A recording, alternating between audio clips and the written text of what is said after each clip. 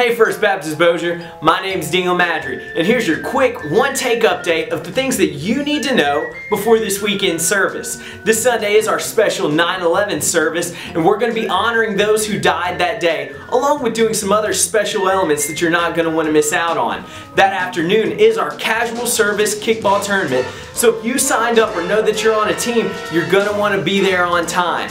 Bob Smiley tickets are now on sale by the Men's Ministry office. You can get them before or after service. You're going to want to buy your tickets soon because they're selling fast. They're $5 and that is on September 25th to close out our LOL series. And the last thing that you need to know is that our new series, Mythbusters, is going to be starting this October. So go ahead and make plans to be there and invite some friends while you're at it. Well, my name is Daniel Maddry and that's all you need to know.